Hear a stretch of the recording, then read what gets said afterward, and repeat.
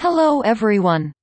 This video will show how to download your Notezilla sticky notes from the online sync account on your Windows PC. Let me show you how this is done.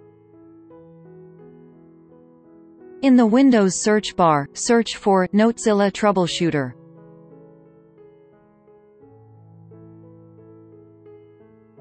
Select the option, Clean up Notezilla data and start fresh.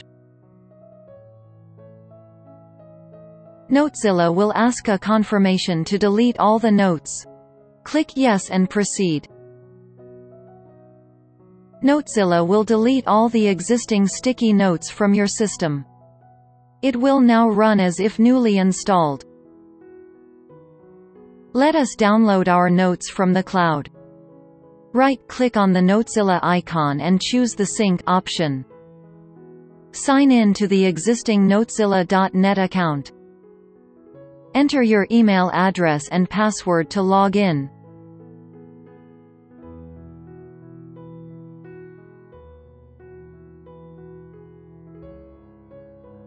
Confirm and proceed.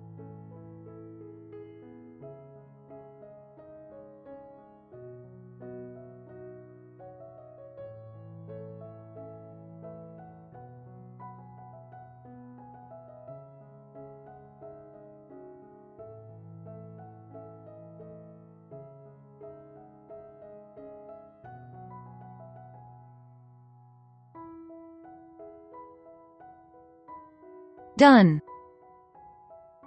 Notes have been downloaded from the cloud. Thank you for watching.